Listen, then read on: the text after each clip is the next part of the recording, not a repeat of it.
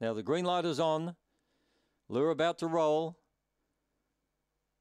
Racing, green black slash got away really well. Going with it early, little spotter showing terrific early speed. And toward the centre of the track, uh, Master Ingram is also up there, and the check is also there. Zabansky Fury right down the outside fence. Taylor Jade, Master Ingram got to the lead. Master Ingram beats green black slash. Then Zabansky Fury, Boogie Shoes ran fourth.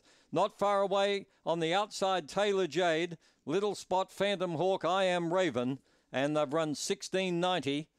The run home was 621. Master Ingram does it again.